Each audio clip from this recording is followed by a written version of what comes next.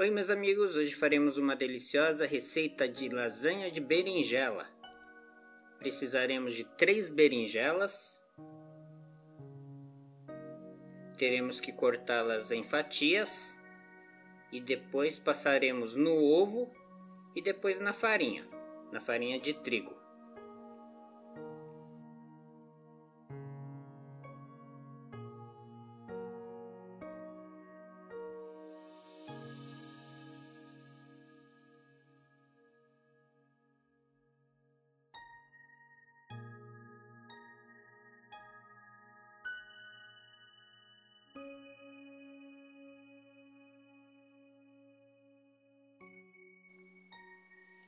Vamos fritar em óleo bem quente.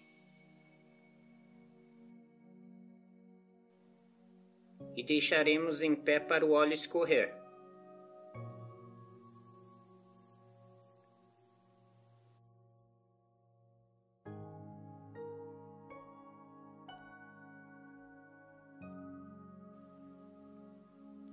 Depois vamos refogar duas cebolas picadas e dois dentes de alho.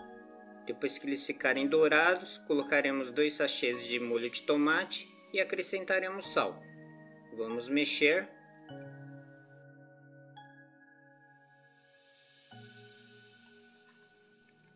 Em um refratário colocaremos o molho de tomate, depois uma camada de berinjela,